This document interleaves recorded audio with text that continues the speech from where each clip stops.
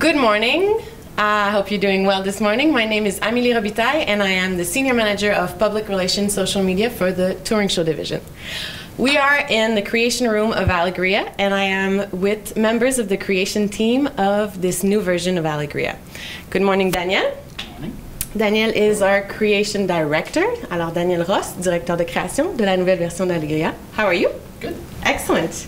On est aussi en compagnie de Émilie Terrien. Émilie's with us. She's the choreograph, acro- acrobatic Choreographer? choreographer. Sorry, my English. It's all good. How are you? I'm very good. Excellent. Thanks for being with us. And we are with Richard Lepage, who's the director, coaching, and performance. So, we've asked our fans to ask us questions about the, the acrobatic skeleton, uh, specifically this morning. First of all, can you explain to me what is an acrobatic skeleton? Sure. Uh, an acrobatic skeleton is a layout of, uh, of acrobatics of di- different type of disciplines, basically that we uh, line up to create our show, to be able to build a pacing, to be able to uh, create a, a world that brings emotion and a, a, a lineup of through the a storyline, basically through uh, the show for the, the amount of, uh, of the time that we need to build it. So it can depend depending of the production. If it's a, a short show, it will be only five acts. But in our case, it's a, like around 10 acts that we have in our show right now to build the, the full show. So we always try to, uh, to go through uh, different uh, disciplines to really make uh, something that is uh, balanced and um, something that is will will bring uh, the acrobatic level as well that uh, is expected in a Cirque du Soleil show. Awesome. And just in general, for, for our audience and people who are not so familiar with acrobatics, how many different types of acrobatics or different genre of acrobatics is there out there? But I would say that it would be around maybe uh, like a big like there we would categorize them by like a family, uh, meaning that we would have like seven big type of uh, acrobatic uh, disciplines in the world. So uh, we would have like balancing acts, we would have like juggling or manipulation that we call. We have the rebound uh, disciplines, we have all the aerials, and uh, we would say too that we would have uh, the traditional circuit a- circus act that we found like in traditional circus, and all the gymnic uh, aspect uh, that we try to incorporate in our shows uh, through the years. That's been uh, Cirque du Soleil since 30 years now. Speaking of since 30 years, the first version of the show was created 25 years ago. A long time has passed. Has there been changes or has acrobatics evolved since, then? But for sure, because I think every time uh, through the years, people always try to push the limits. It's the same thing in sports. It's the same thing with circus acts. So we always try to go further as uh, human performances, and we try to really uh, push the boundaries. So for sure, every year we go one step ahead, and we try to really go someplace else with all the acrobatics. So for sure. Alegria 25 years ago wouldn't be the same like now. So uh, right now we're trying to go with the the expectation of the public because they've been seeing a lot of shows uh, through the years as well. So for us, it's our challenge to to bring that that step up within the new creation in 2019. And like Émilie is saying, I think the, the entire world has moved for sure. Like, you know, technology, so the equipment that we're using is something, the way we're training people has changed, the way that uh, the people behave with their own body has changed. You know, the the ownership of our performers has changed as well. So obviously that, that, that will reflect on the performance on, on stage for sure. Awesome, thank you. All right, so we've had a lot of questions from our fans. Zach, DJ, Green Ninja, uh, and uh, Andrea were asking basically, they want to know what is this new version going to be like? The concept, are we, are, are you guys having any surprises for us that we can reveal today? Well, for sure, it's going to be quite different. Uh, I mean, the best way to find out really is to come and see the show once it's out. Starting in April. uh, the, the, the process, what what we our uh, our, our big bet and our, our objective with Alegria right now, with the, the, the we call it a relecture in French, in English, a rereading if you like. We're taking the show and its DNA and its roots and, and, and its main themes, and we're trying to we want to revisit it through the lens of today basically. Like uh, we're in 2019, so all of these themes and this storyline and, and, and, and everything that's behind the show and the inspiration of the show, how does it read today and how can we interpret it today? So we have a new director on board to put it together and everything.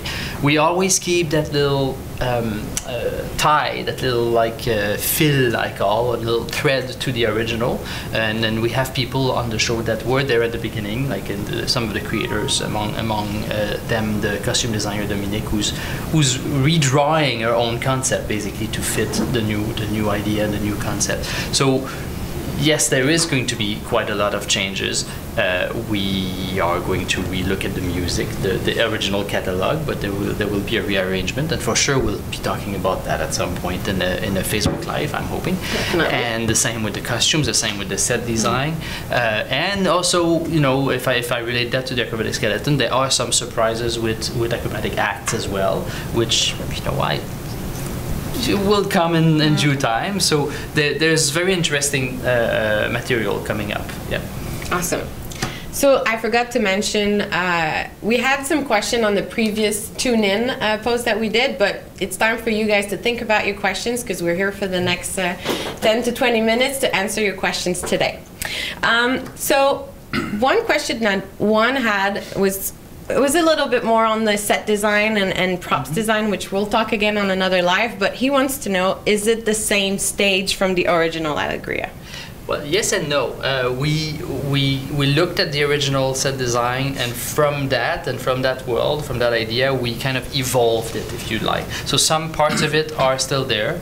Uh, for example, because we'll still have a power track Yeah. number in the show, we kept the whole like opening of the stage, which we had 25 years ago already. But then, but then the whole upstage part of the show we are revisiting. You know, we used to have uh, uh, other. Uh, you know, a, a dome and everything, and we, we, we ask ourselves what is our representation of, of what power means in the world and all that, and we kind of relooked at that. So yes, the stage will be different, uh, but still uh, inspired from the original. Yeah.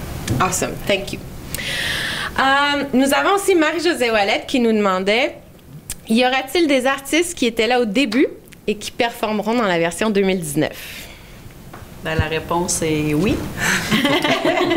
Il y aura euh, de ces artistes qui se retrouvent sur la, produ- la production en 2019, euh, dont notre super Lev euh, qui sera de la distribution et aussi euh, Onetovo qui est un manipulateur de feu qui était là aussi au tout début d'Allegria. Puis euh, par le fait même aussi, euh, moi qui étais avec ces artistes-là sur la scène 25 ans, il y a déjà 25 ans, je trouve que ça va vite le temps.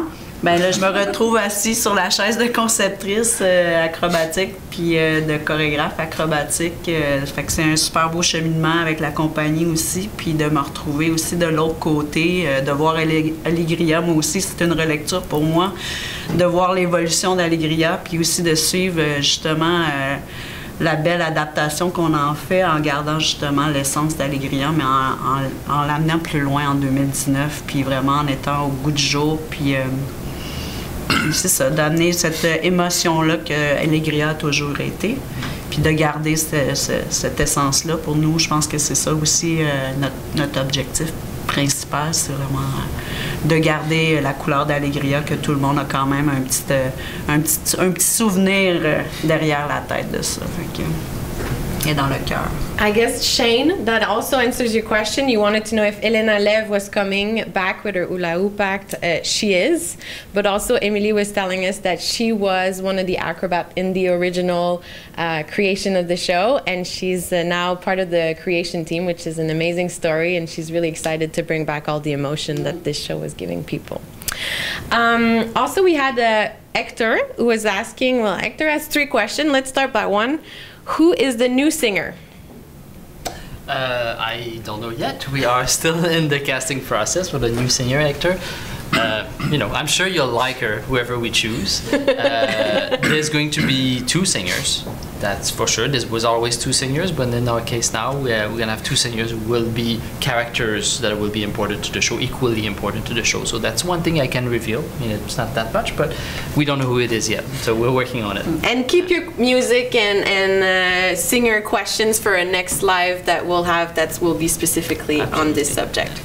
All right, Hector also wanted to know if the Aerial Cube and Ibis songs are back in the show. Well, the cube, uh, we won't have the cube. We have something else. I think it's going to be a great surprise for everybody. The Ibis song will be there, so I think that's that's a good news. And uh, yeah, Yeah. Okay, but cool. we'll keep we'll keep the act as a surprise. Yeah. Awesome. Um, yeah, we do have to keep some surprises, even though we're really revealing a lot today in the creation process, which we normally don't do. Before I keep on going, I'm already receiving uh, a lot of hellos from Japan, South Africa, India, Puerto Rico. People are watching from all over the world. Thank you guys. We're really excited about this. Um, all right, so next. Um, well, Hector was also asking, his third question was Will there be any original acts? So we've talked about hula hoop. What else will be back in this version? Ba- Back in the in the show will be for sure power track. It's uh, one of the highlights of the show, so it's there for sure. And I think And, Power uh, Track is yeah. like I think you imagine the the dream team, and we truly believe that we cast the dream team of Power Track. So we know that this act's gonna be super strong. Yeah. For, for the for the fans that have been following us for a while and that have seen La Nouba a few times, there are some artists that we went and got at La Nouba when La Nouba closed to bring on Alegria. to bring. So- okay, Yeah. cool. Cecil was also asking if uh, Power Track would be back because she says it, it was the best part of the show, in her opinion. Exactly, and they will. Uh, we will have a Joe Trapeze uh, well- as well that will be in the show, and uh, a twist on the Russian bar act as well. So Awesome. Yeah. Cool. keeping uh, true to Alegria in some aspects. All right. Um, so back to uh, more acrobatic questions. Um, there is someone who's saying, oops, not an acrobatic question, guys. Sorry. People want to know actually, is it only going to be touring in Montreal? And um, and a lot of people are relating to their souvenir of the song, obviously. So her daughter was Carmen. Her daughter was born uh, with that song. So um, to answer your question, Carmen, the show is not only going to be in Montreal. So far, we've announced that it's going to start in Montreal in April 2019, and then it will go to Gatineau. We don't know the rest of the cities yet, but there will be a tour plan uh, announced shortly, and uh, follow us on Club Cirque for more information. All right, so um, I guess tell me a little bit more um, acrobatic challenges. Uh, we had Aline who was wondering, what's your biggest challenge as far as making this new version? well, I think that the world is so dynamic now that we also have to see how we can bring acts maybe not as long as they used to and bring as much things that we had in a shorter period of time. So that's a challenge that we have to bring much more dynamic. It has to be, you know, quick, and uh, so that's the challenge that we have. We truly believe that we will accomplish that. So I think in a short period of time, it's just going to be more intense. That's that's I think one of our challenge that we have. Awesome.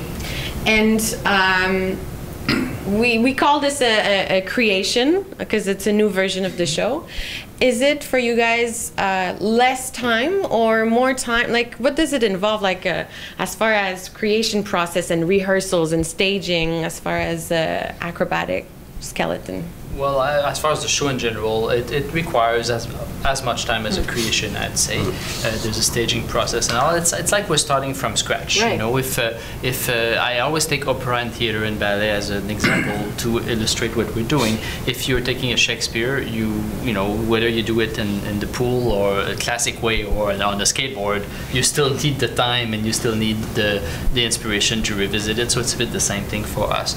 as far as the acrobatic is concerned, uh, you know, what's the time involvement? Yeah, you know, our first training day was July 3rd, so we Wow. al- we already started. So obviously, there's some acts that require a lot of training, you know, for uh, performance level uh, reasons, but also for safety reasons. You know, we need to train a lot.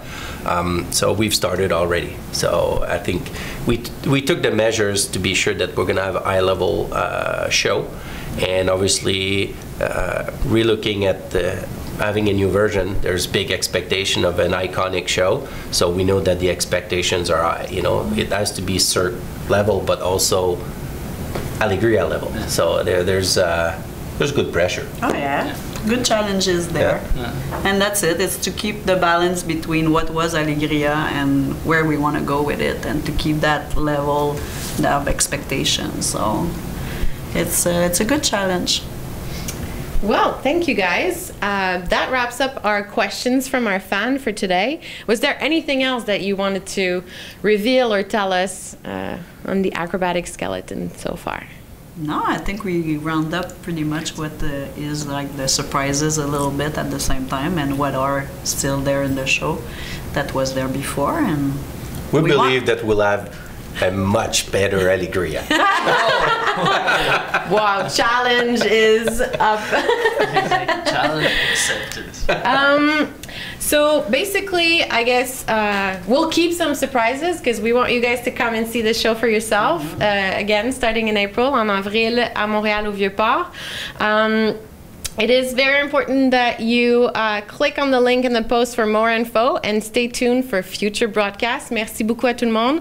Allez cliquer le lien euh, pour euh, revoir euh, ce live et euh, rester avec nous pour les prochaines fois. Je vous remercie énormément. Thank you everybody for being here this morning and I'll keep you to your hard work. I know you guys have a lot of meetings according to this TV screen in the background. So uh, thank you. Merci tout le monde. Merci. Bye. Thank